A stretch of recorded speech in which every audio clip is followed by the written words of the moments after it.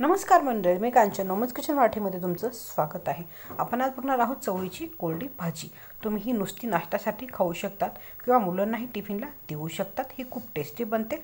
चला तर बघूया रेसिपी कशी बनवायची आहे ते. इथे चवळी मी चार ते पाच तास भिजून ठेवली होती. त्यानंतर दोन शिट्ट्या घेऊन मी तिला शिजवून घेतलेला आहे. इथे घेतलेले आहे लाल सुक्या मिरच्या आणि लसूण हे मी मिक्सरला बारीक करून घेणार आहे.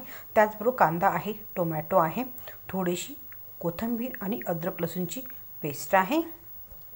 ते पॅन गरम करण्यासाठी ठेवलं होतं.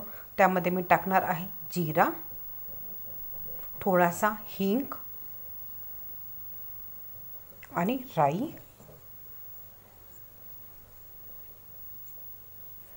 आता त्यामध्ये मी टाकणार आहे कांदा आणि कांदा थोडासा गोल्डन ब्राऊन होईपर्यंत आपण चांगला परतून घेणार आहोत.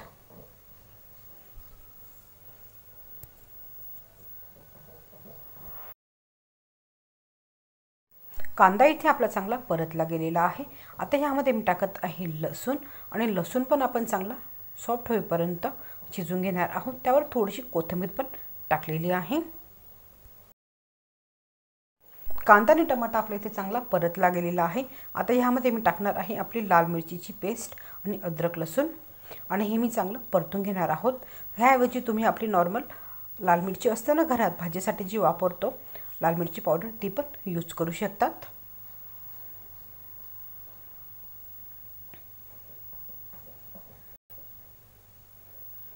थोडीशी हळदी किंचितची लाल मिरची पावडर आणि थोडासा नॉर्मल गरम मसाला.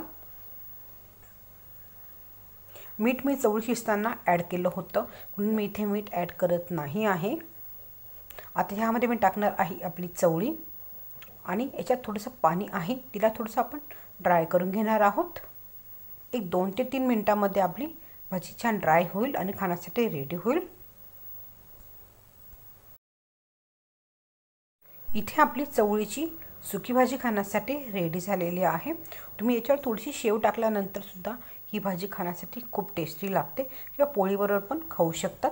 व्हिडिओ आवडला तर लाईक आणि शेअर जरूर करा आणि माझ्या चॅनलला सबस्क्राईब करायला विसरू नका. नोमज किचन बघितल्याबद्दल धन्यवाद. व्हिडिओ आवडला तर लाईक आणि शेअर जरूर करा.